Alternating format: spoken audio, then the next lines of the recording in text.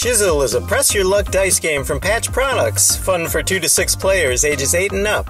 It features a unique dice, with each number on each of the 6 dice being a different color. For example, there's only one red 4. The dice comes in our new Twist and Tumble Dice Cup. It's a fun new way to roll dice. To get started, place chips in the center of the plane area, which will be the bank. To play Shizzle, you want to make the most and longest lines of matching dice. You can match dice either by color or number, and it can change from die to die. This line starts with a green 6, then is matched by a number with a blue 6, then matched by color, matched by number, and number again, and finally matched by color. Dice only have to match the one next to it.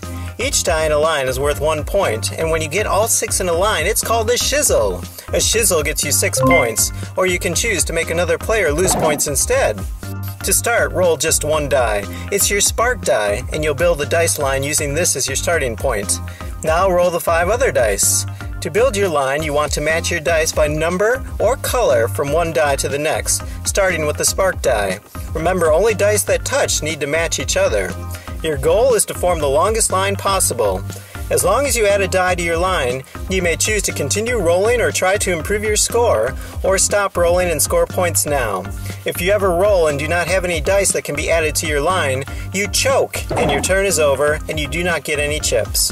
But if you decide to stop before that, you'll get one point for each die in your line. After each player's turn, the die at the end of their line is the next player's spark or starting die from which they will try to build a line. Play moves to the player on the left and continues until the bank is empty. The player with the most points and chips is the winner.